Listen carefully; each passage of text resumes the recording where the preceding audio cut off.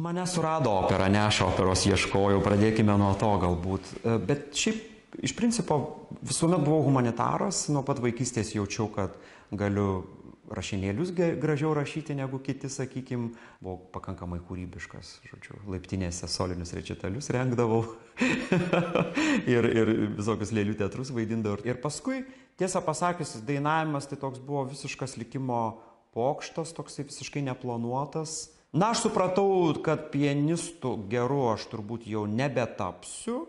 Ir čia vienas amžinatvis mano draugas, tuo metu studijavęs kaip tik dainavimą Juozo Grodžio konservatorijoje man pasiūlė, žodžiu, nes mano planas toksai buvo pabaigti tą konservatoriją, reiškia, kažkokiu tai būdu ir tada jau su tuo spets viduriniu išsilavinimu stoti, žodžiu, va tokia buvo strategija stoti jau Vilniuje į, į, į, į aktoriaus specialybę.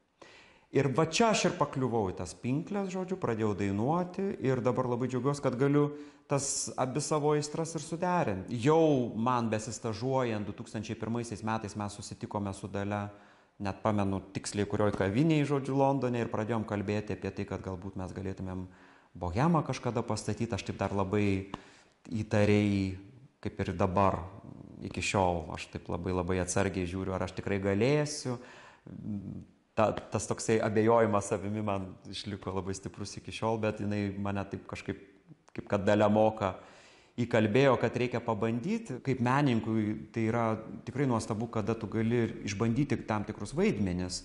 Užtenka pasakyti, kad norėčiau pabandyti, pavyzdžiui, padainuoti verterį ir, ir prašau, ar aš jau galiu išbandyti visai ir, ir, ir, ir, ir, ir žodžiu, žiūrėti, kaip tas, kaip tas vaidmuo prilips prie manęs ir paskui toliau dainuoti jau kitose teatruose, vakaruose kažkur. Man, aišku, labai malonu buvo skaityti, kai Le Figaro parašė, kad reiškia, kad Edgaras Montvidas yra verteris, žodžiu, tai buvo tokia didelė antraštė, žodžiu, tai tiesiog buvo tikrai labai smagu, kad, nes, na, na vėlgi, tu dainuoji Prancūzijoje ir visi tavo kolegos yra prancūzai, tu vienintelis, reiškia, ne prancūzakalbis, stengiasi neiškristi iš jų, reiškia, autentiškumo. Ir, ir kiek man teko va, tą verterį dainuoti, visuomet yra tam tikrų scenų, kada mano partnerė Šarlotė, žodžiu, e, turi nu, sustoti repetuoti, turi nueiti kažkur, pastovėti kampe, įkvėpti giliai tris kartus ir kad, kad tos emocijos vėl susigulėtų ir vėl grįžti, žodžiu, ir vėl toliau dirbi, nes, nu, iš tikrųjų, muzika yra nepaprastai emocionali, ne,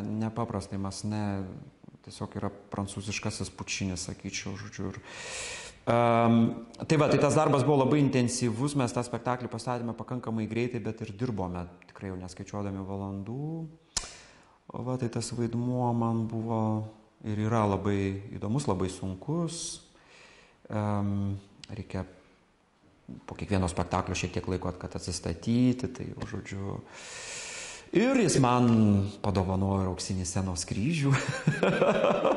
Visada sakau, kad yra trys tie komponentai, reiškia kūnas, balsas ir siela, tai vad juos kasdieną turi lavinti ir, ir vad būtent tos sielos lavinimas, kuomet tu ieškai įkvėpimo visame kame, nu, visuose vizualiuosiuose menuose ir, ir, ir visuose kituose, nes labai užsidarius tik tai savo sferoje, tu tampi tokiu amatininku, ta prasme, tu tokiu tampi galbūt labai geru, konkrečiai kalbant, dainininku, tokiu perfekcionaliu, reiškia, e, natų leidėjų, iš savęs, bet, bet, bet, bet vien tik tai to va, tobulo garso nepakanka. Vis tiek, vis tiek labai, na, tavo vidus būna apnuogintas scenoje ir labai svarbu, kad tu tikrai žiūrovams nepaliktum tokio įspūdžio, tarsi tik tai toks tuščias vokalistas. Vaidmens ruošimas galbūt prasideda nuo to, kad tu, na, turi išlavinti savo, nežinau, skonį,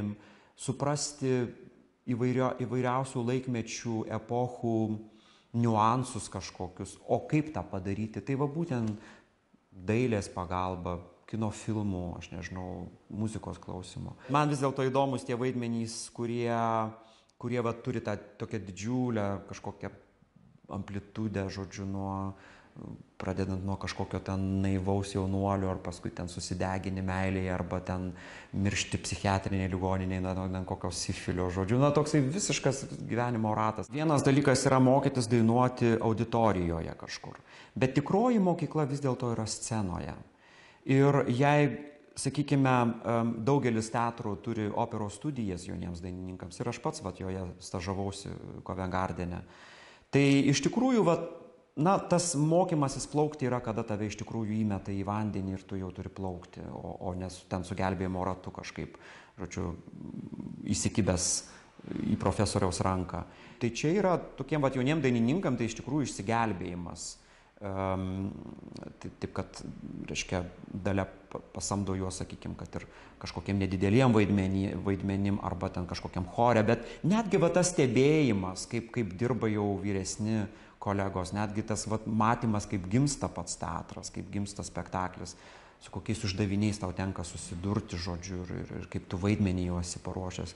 Tai visa ta Visa ta patirtis yra labai labai svarbi, labai reikšminga. Yra tam tikrų vietų pasaulyje, kurie tave traukia kaip magnetas. Ir yra su tam tikrais teatrais tu, tu, tu susidraugauji tarsi, susidraugauji su kolektyvu, jie tampa tavo tokiais, na, namai, sakykime, čia taip mes mėgstam naudoti tokį žodį. E, bet yra, kur tu tiesiog, na, žinai, kad tau ten bus gera kurti, kad tu iš tikrųjų tavim bus pasirūpinta ir, ir, ir, ir, ir, ir kad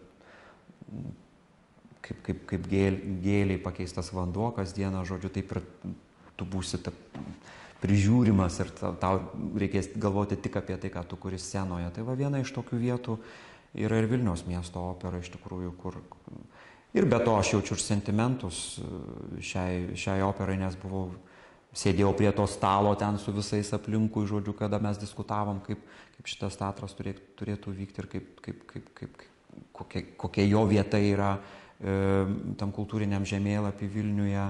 Publika dabar jau nėra inkognito. Tai turiu, pasak...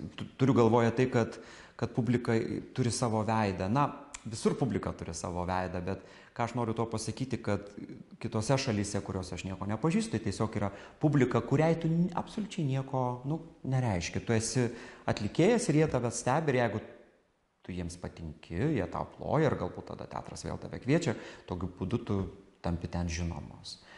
Čia jau kiekvieną kartą atvažiavus tu turi parodyti dar vieną kažkokį stebuklą, turi nenuvilti, nes labai labai greitai, kiekvienas spektaklis yra tarsi, na, naujas, toksai kaip egzaminas tarsi. Kitaip tariant, tas atsakomybės jausmas jisai visur yra labai stiprus, bet, bet, bet Lietuvoje jis toksai, na, savo sienas, žinot. Vėlgi, dalios stiprybė yra tame, kad jinai surenka labai gerą komandą. E, ji, ji, ji pakviečia, sakykime, puikius e, dizainerius, garsius visame pasaulyje. Ji pakviečia uh, E, na, statant Faustą, sakykime, man teko dirbti su John Ross garsiu choreografu.